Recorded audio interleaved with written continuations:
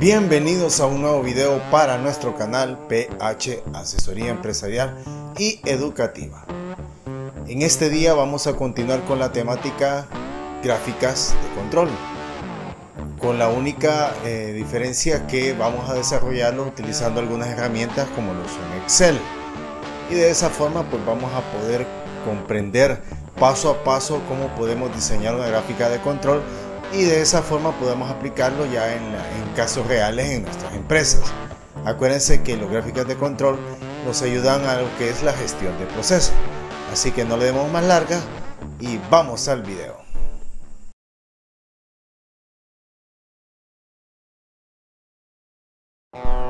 Bueno, vamos a iniciar con gráficas de control.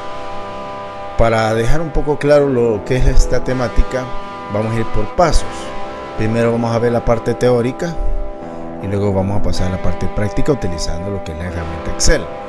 Las gráficas de control pues miden dos tipos de variables, las cuantitativas y las cualitativas.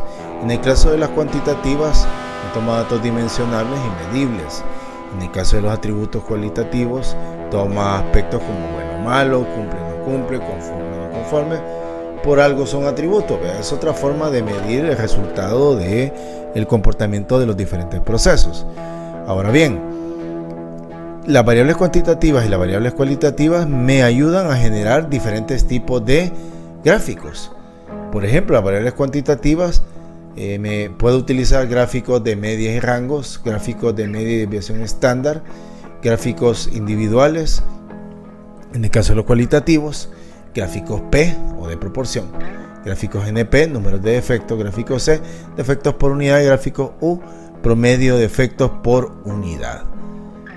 Esto a manera general, si se fijan, nos, nos muestra lo que son varios tipos de variables que son analizados en diferentes tipos de gráficas. En, este caso nos vamos a enfocar a una de ellas, que sería la gráfica media y rango, la que está aquí en gris, que también se le conoce como gráficos X y R. La podemos ver, por ejemplo, voy a regresar, voy a regresar, que este tipo de gráficos eh, se va, gráficas de control se basan especialmente en lo que es la estructura de la curva normal. Si hacemos un recordatorio, esto es estadística. Esto, la curva normal no es una, más que una forma de medir probabilidades. La forma en cómo se mide probabilidades, para este caso, que se llama campana de Gauss, así es conocido, toma esta forma, si ustedes observan, y, y en esta parte se van generando todos los valores de z, que son valores eh, en probabilidad. Entonces, el comportamiento de las gráficas de control está muy relacionado a esto. Aquí lo podemos ver unos ejemplos donde aparecen algunas gráficas de control y podemos ver el comportamiento que va teniendo como un histograma. O sea, está relacionado, como les digo, a lo que es la curva normal. Pero eso es otro pisto. Como apoyo, cuando se ocupa eh, la campana de Gauss caso de probabilidades, existen tablas que me ayudan a analizar el comportamiento de los datos en forma de probabilidad. Esta tabla, si ustedes lo observan, eh, muestra el número de observaciones o el número de muestras que puedo tener. Aparte de esto, en la parte superior pueden ver de que aparecen, por ejemplo, factores para límites de control, factores para línea central en el caso de diagramas para desviaciones estándares y diagramas para amplitudes. Y aquí aparecen varias, varias son, mejor dicho, son variables que me indican una, un dato este, numérico que yo ocupo cuando genero las tablas o las gráficas de control. Y esto lo vamos a utilizar en el caso, en el ejemplo que traemos práctico para que vean cómo se utiliza este tipo de tablas. Sabemos que las gráficas de control en su estructura tienen un límite superior y un inferior. O sea, forman una región donde espero que esos datos se encuentren sobre esos límites. Ya que si el dato está afuera o abajo de los límites, yo ya tengo un problema. Entonces eso se vuelve ya algo que hay que considerar y tomar las acciones oportunas para mejorar las condiciones de los procesos. Las fórmulas dicen lo siguiente, por ejemplo, el gráfico X, que es el primer gráfico que vamos a desarrollar, su límite superior se obtiene la siguiente forma. La media más A2, que es un valor que se obtiene en la tabla, tal y como lo mencionamos anteriormente, por el rango. Y el límite inferior es igual, lo único que restado. En el caso del gráfico R, el límite superior se obtiene multiplicando D4, que es un, un, valor también que me genera la tabla, por su rango. Y el límite inferior es el D3, que también viene de las tablas y se multiplica por su rango. Esa es como la forma general de poder obtener, ya sea para los gráficos de la media y los gráficos del rango, su límite superior y su límite inferior. Vamos al ejemplo, al caso práctico. Entremos a Excel. Aquí hay un ejemplo que vamos a, tratar. Basémonos en, un, caso específico. Digamos que una empresa está produciendo tornillos y le interesa medir el diámetro de, esos tornillos para ver si el valor que ellos han ponderado no, no se pasa sobre los límites superior e inferior que ellos han definido como margen de error. Y esa es la idea de los gráficos de control. Me permiten controlar ese tipo de insumos. ¿Qué vamos a hacer? Por ejemplo, en este caso hay 10 muestras, o sea, se, tomaron 10 muestras en diferentes horarios. Cuando usted hace inspección en un proceso, usted define horarios donde va a tomar, para este caso, si se fija, fueron 5 pruebas, o sea que agarré el tornillo 1, el tornillo 2, el tornillo 3, el tornillo 4 y el tornillo 5 para la primera muestra y me dieron estos resultados en su diámetro. Luego en la segunda muestra tuve estos resultados en su diámetro y así sucesivamente hasta llegar a la décima muestra. Ahora, ¿qué hago con estos datos? Estos son datos que obtengo, como les decía, en una inspección de proceso para ver cómo me está incidiendo mi producción. A ver si no, no, no estoy incumpliendo en cuanto al requerimiento que tengo específico de su, diámetro. Entonces, ¿qué hacemos? Para generar las gráficas de control, ustedes pueden observar en la parte inferior que hay tres datos, A2, D3 y D4. Estos son los que me conforman o me ayudan a conformar mi gráfica de control.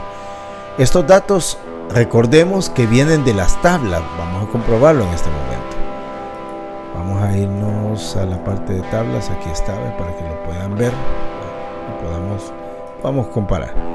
Ahí está. Dice A2 es 0.308. ¿De dónde viene? primero basémonos, son 10 muestras. Vámonos a la tabla. Miren, en la tabla 10, A2, que aquí está, A2 es .308. Es el valor que está indicado ahí. Veamos los otros datos. D3 0.223. Veamos si es cierto.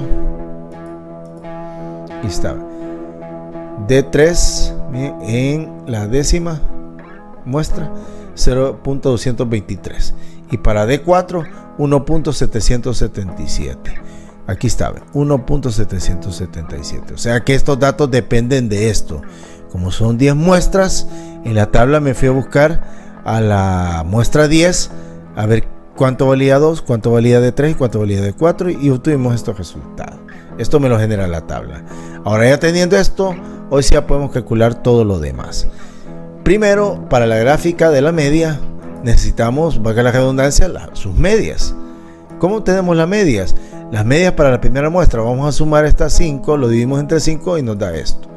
Si no, podemos ocupar lo que es las fórmulas que trae Excel. Por ejemplo, en este caso ocupé promedio y tomé estas celdas y me dio este valor. Luego lo, transcribí acá para obtener las medias de las demás celdas, en el caso de las 10 muestras que se han tomado. Al final se saca un promedio general, o sea, el promedio de todas estas da 5.11. Ahí ya tenemos el primer dato. Luego vamos a calcular el límite superior el límite central y el límite inferior. En el caso del límite central, ese lo podemos obtener a la primera, porque ven que da 5.11. ¿De dónde se saca eso? En la media, el valor promedio general, es el límite central. Y lo marcamos acá. ¿Sí? Eso lo copiamos igual para toda la celda. Aquí está, el, mismo dato. Ahora este, ¿cómo lo obtenemos? Si nos vamos a la fórmula, vámonos a la fórmula, aquí está. El límite superior para el gráfico de la media dice que es la media más A2 por el rango. Vámonos a la Excel. Ah, o sea que vamos a multiplicar 5.11, que es la media, más sería A2, que es 0.308, multiplicado por el rango que está acá, que por cierto no lo había explicado, pero vamos a mencionar. Los rangos, así como calculé las medias, debo de calcular los rangos para estas celdas. ¿Cómo lo hacemos? El rango se calcula el valor mayor menos el valor menor. Este, o sea, de este vaya, por ejemplo, es como que restara, si se fijan en este en esta que estoy mostrando, 541 es el mayor y el menor es 496. Si yo resto eso me da 0.45. Entonces, otra forma es, en, lo escribo en Excel, si se fijan aquí puse max, seleccioné la celda, menos min, seleccioné la celda, él, ya me elige el mayor y el menor, lo resta y me da el valor. Es otra forma. Y eso lo transcribo a las otras celdas y saco su promedio general. Entonces aquí ya tengo, miren, el rango general, la media general y estos datos que necesito para obtener los límites. Ahora, el límite superior, recordatorio, dice que es igual a la media, que es 5.11, más A2, que es 0.308, multiplicado por el rango, que es 0.33. Y eso da 5.21. Como el límite superior también no cambia, lo transcribimos acá, miren, de la misma forma, y eso lo mantenemos en los 10 casos. Para obtener el límite inferior, es la misma forma, solo que en vez de sumarlo, restarlo. O sea, 5.11 menos 0.308 multiplicado por 0.33. Y eso da 5.01. Y eso lo transcribo igual para estas. Y ya tengo la primera tabla. Selecciono acá, nos vamos a insertar y elegimos el tipo de gráfico, que sería lineal. Y esto nos va a generar este tipo de tabla, que aquí está. Miren, aquí viene el comportamiento. Si ustedes se fijan cómo trae el comportamiento. Y podemos observar que hay dos valores que están fuera de rango. El primero y el noveno. El primero se pasó del límite superior y el noveno está abajo del límite inferior que 4.93. O sea, tenemos un problema. ¿Qué tocaría hacer? Verificar qué pasó con, estas, con estos datos. ¿Por qué dio muy alto y por qué dio muy bajo? para tomar las acciones correspondientes que me permitan mejorar el rendimiento de mi proceso. Para eso sirve. Ahora bien, esto no basta con la gráfica de las medias, necesito la gráfica de rangos para poder estar 100% claro de las problemáticas que pueden haber, porque puede ser que aquí esté totalmente bien, pero aquí no. O, en la gráfica R esté mal, pero en la gráfica de la media no. Entonces, hay que tener ambos datos y eso nos va a dar una información más completa de los resultados de mi proceso. Ahora, para hacer la de gráfica R, ya habíamos explicado que los rangos cómo se obtiene. Ahora vamos allá al límite superior, el límite central y el límite inferior. El primero allá es el límite central. ¿Cómo, eh, ¿Cómo se obtiene este? Si se fijan, es igual que la media de rangos. O sea, es el mismo. Lo que me da aquí lo transcribo acá, en todos. Es el mismo valor porque no cambia.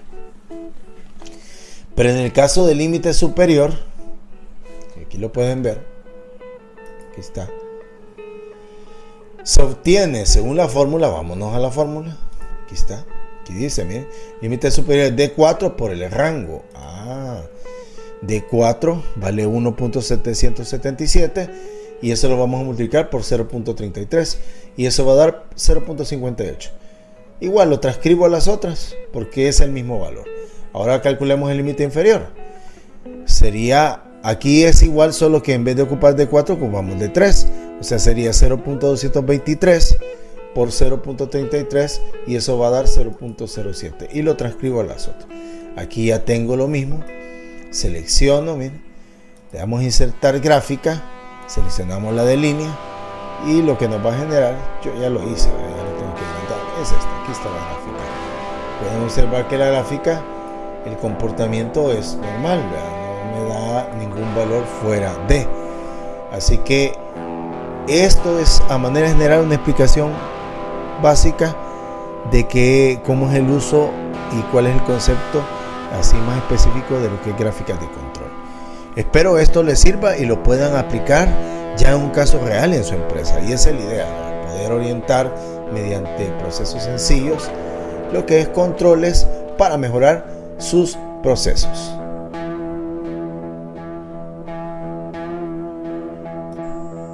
Espero les haya gustado este video. Se dieron cuenta que es fácil hacer uso de herramientas como lo es Excel, que es una aplicación que está, digamos, a la mano de cualquiera y, mediante eso pues facilitar el desarrollo de este tipo de casos. Cuando es gráficas de control nos ayuda mucho, nos facilita mucho su desarrollo. Y esa es la idea, que como canal podamos mostrar algunas herramientas sencillas que ustedes la pueden aplicar en casos reales. Si les gustó este video, por favor, darle like, suscribirse para aquellos que no lo han hecho, compartirlo para que este proyecto llegue a más personas y además darle clic a la campanita para que le lleguen todas las notificaciones de los videos que vamos a estar desarrollando. Eh, próximamente pues os seguiremos desarrollando lo que son temáticas siempre relacionados a lo que es, en mi caso, eh, las herramientas matemáticas que facilitan lo que es la gestión de procesos. Así que de mi parte agradecerles a todos y nos vemos en la próxima.